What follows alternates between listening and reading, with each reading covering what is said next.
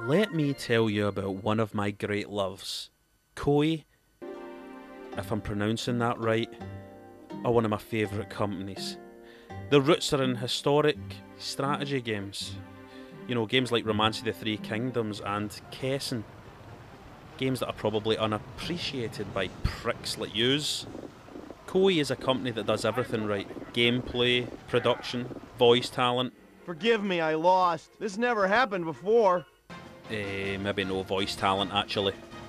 But Koei in the West certainly are often the master of the criminally ignored games, like the fantastic Dynasty Tactics 1 and 2, both of them great, both of them quite savagely ignored. Of course, all is not lost in the West for Koei because there is the Dynasty Warriors games. She's like that, didn't you? Aye, a load of slashing and fighting rubbish. I'm not a fan of these games to be honest, and it is not a thing to do with me being absolutely gash at them. But that's where Koei really gets Consolevania's respect. Because they're a company that stick to their roots. They're no sellouts. They stick to their roots and they put out really, really hard games. Non-commercial, difficult games, like the recent G1 Jockey 4 that I played for weeks and never won one fucking race. Not one fucking race. But oh, Gitaroo man. Koei's greatest gift to the gamer. Possibly the greatest game on the PlayStation 2 possibly the greatest game of last generation. Yes, that is how much I love this game.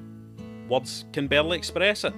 And why are we excited at Consolevania? Because there's a PSP version coming out. Probably just a port, but bring it on. Bring it on. I could play this game to the day I die. And I will die. I will die. We'll all die.